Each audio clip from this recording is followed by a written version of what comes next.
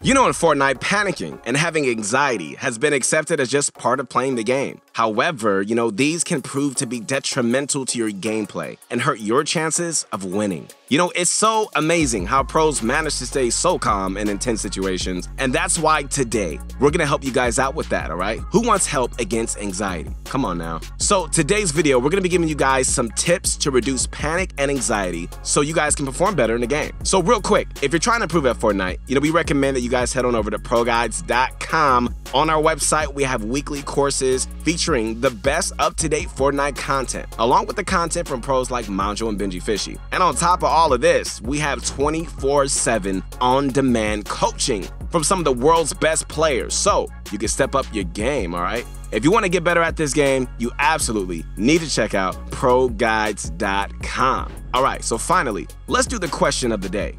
Today's question is What's the most clutch play like you've ever pulled off in Fortnite? Let me know the most clutch play in the comments. I'm really, really excited to hear what you guys have to say. What's going on, guys? It is your motivation guy. That's right, your friend, the one and only Keith Allen. I'm back to motivate you, to inspire you to be the best, not only in this game, but also in life. I believe in you guys. Remember, I say it all the time, and I'll keep saying it. I don't care. You guys are great. You got to know that you're great despite what you're going through. I don't care what surrounds you. I don't care if you failed a hundred times at this game or just things in life in general general, know that there's greatness on the inside of you. And the more things that you go through, man, the more that you can learn from it and the more that you can mature and just get better, you know, get better. Connect with me at my new Insta at Your Motivation Guy. All right, ladies and gentlemen, it's about that time to sit back, relax, and get my favorite candy. Come on, say with me. It's that bunch of crunch, and let's get this going.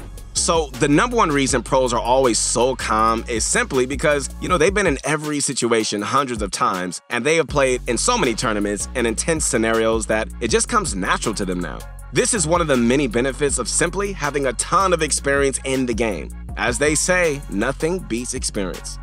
So the first way to gain experience, especially in solos, is to play in any in-game simulation such as Zone Wars, Turtle Wars, or box fights where you can run into a bunch of different realistic scenarios that can be applied to the real game. You know, you can play Zone Wars by simply queuing up in a creative field or just gathering a bunch of friends and just starting any sort of Zone War map in the hub. You can also use a Turtle War map in creative field or even a box fight map with friends. The possibilities in creative are endless, guys.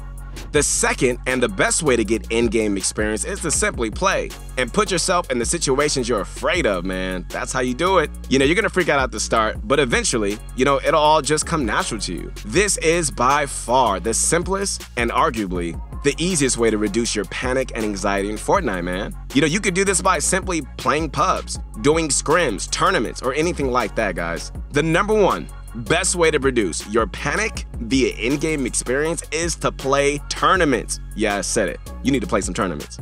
These solo cash cups you see every single week, and any other tournaments for that matter, are amazing for not only practice, but also experience. Yeah, that word again, experience. You know, participating in these events are going to give you guys valuable experience that you really can't match anywhere else. So we really recommend playing in them as much as possible. Your mindset is another important factor that might be hurting you more than you think it is, man.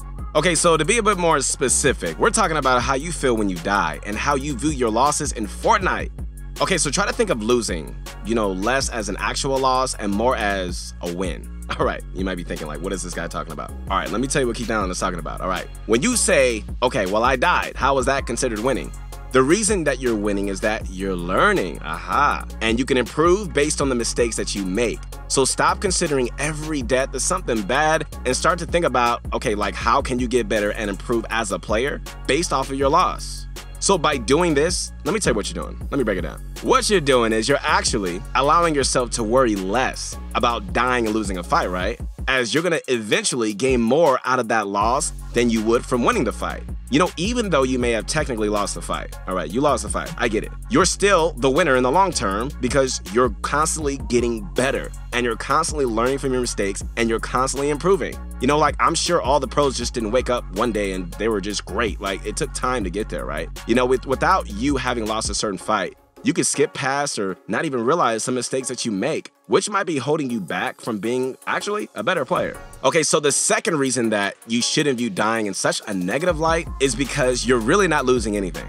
Okay, so this is the truth, all right? Even if you left the game immediately, didn't care, all right, you didn't review or watch it back or anything like that, you're not truly losing anything except a few minutes of time. Understanding this is going to prove to be super helpful. Don't forget to play the game for enjoyment. I say this all the time when you guys reach out to me on my Insta. You gotta have fun. It is just a game after all, really. Obviously, you know, winning is better than losing. Like, I hate losing anything in my life, but you're not really losing anything if you do lose, to be honest. So, viewing your wins and losses in a different is just super important to not only reduce panic and anxiety, but also improve at the game. That's how you gotta do it. The third thing that might be causing you anxiety when you play is your actual skill level. You know, being worse at the game and knowing, like in the back of your head, that you're probably gonna lose. It's a harmful mindset but it makes sense. You know, obviously, if you're not as skilled at the game, you know, you're going to panic more and play with less confidence. And as you probably already know, confidence is absolutely key to being successful in Fortnite or anything in life, really. So, unfortunately, you know, there's no real secret formula to gaining confidence apart from actually, well, improving at the game. This is best done by practicing your mechanics, reviewing and learning from fights, and playing against friends in creative for less pressured practice. First comes practicing your mechanics. The three core mechanics of Fortnite, my friends, are your building, editing, and aiming. Let me say it again building, editing, and aiming. Many players think they have strong mechanics, but they don't in comparison to others. You know, nowadays, everyone is just so darn good at the game and they play it so much that it can be hard to keep up. Alright, so let's go over the best way to practice each mechanic. So to improve your building, simply play in a 1v1 build battles against friends, preferably players that are better than you, and also free build and creative once in a while to work on retakes, 90s, and all other core building techniques. Editing can be improved in multiple ways, right? First up is box fights, where you and your opponent are forced into a small box together and have to fight it out. Your materials are seriously limited in box fights, so it is so important to try and pull off edit plays to outplay your opponent. Alongside this, doing edit courses is the common advice you're gonna get, and while it's beneficial, we recommend doing them, of course, but not too often as they don't give you real game experience like box fights do.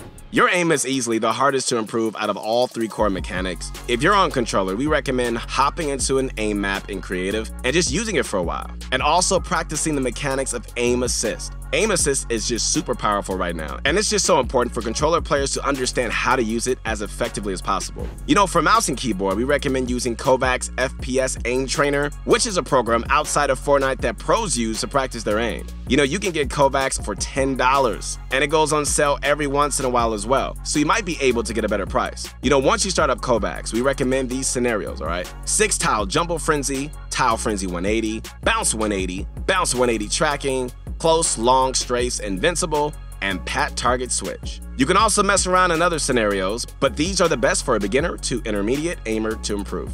To review and learn from fights, the best thing to do is to simply head into replay and just see what you did wrong during the fight. You know, by watching your opponent's perspective and your own perspective, you know, maybe you missed an edit, you know, placed the wrong build, you know, made a bad play or anything like that. You know, it's all up to you to find out what you can do better and practice it based on that. Finally, practicing with friends in creative is the best way to improve in an easier, lower pressure environment. Okay, so try to find a friend around or above your skill level and just play against them over and over, whether it's in a box fight, build battle, zone war, anything else, all right? Playing with friends in creative is easy to do, and if your friend is pretty good, it can help you improve your mechanics and mid-fight decision making extremely quick. You know, if you don't have anybody to play with, which I understand, it happens, don't worry, simply join a Scrim Discord like Atlantis or T1 and type in the looking for group chat that you want to 1v1 someone. People are almost always in these servers looking for someone else to practice against. So this is a great opportunity to meet new people and just find some good players to fight against. But utilizing all of these strategies we talked about, you can improve your true skill and gain confidence in the fights. Believe me when I say, knowing you're better than your opponent can go a long way in determining who wins the fight. The fourth and final tip we have is one that you can use when you're actually in one of these intense situations where you're struggling to keep your cool and you're freaking out.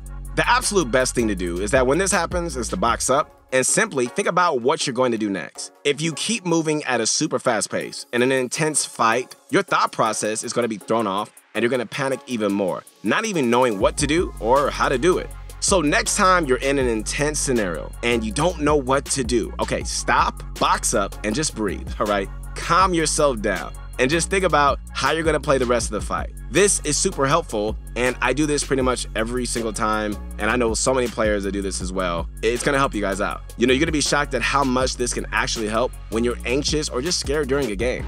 Okay, so we went over quite a lot in this video, so let's do a recap of everything we discussed real quick. All right, so first things first, gaining experience is the absolute best way to reduce panic and anxiety in Fortnite. If you've been in the same situation a hundred times before, you'll already know and be able to plan what to do.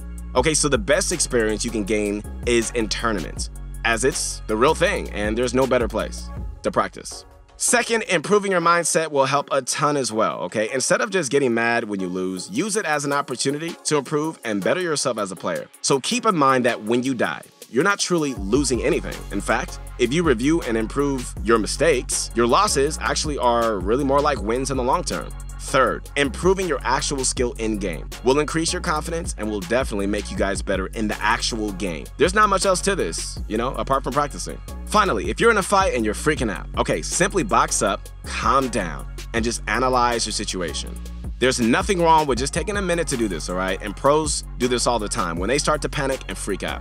All right, guys, this is your motivation guy. That's right, your friend, the one and only Keith Allen. Hope you enjoyed this video. Once again, man, continue to just lead, continue to influence, continue to motivate. Connect with me on my new Insta at Your Motivation Guy. Next time you're fighting against a pesky turtler, try out some of these tricks and see how you like them. You know, we really hope you enjoyed this video. Don't forget to use code PROGUIDES in the Fortnite item shop when you make any sort of purchases. It just really helps us out, and we really do appreciate it. Comment down below what you thought about this video and what you'd like to see next on the channel. We aim to bring you guys the best daily Fortnite content. So do us a favor by liking the video, subscribe to the channel, and show ProGuides.com some love for bringing you this video. Thanks for watching.